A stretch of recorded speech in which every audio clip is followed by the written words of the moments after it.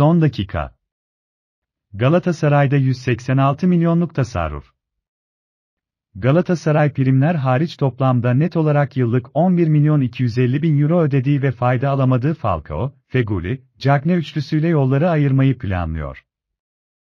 Bu operasyon sonrasında maaş bonservis olarak Cimbom'un kasasına 18 milyon euro, 186 milyon Türk lirası girmesi hedefleniyor.